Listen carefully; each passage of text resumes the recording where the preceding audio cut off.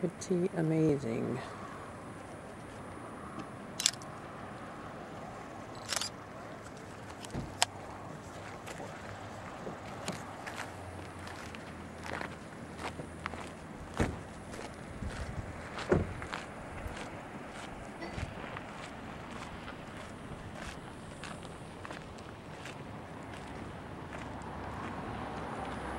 So we'll see how close I can get to that.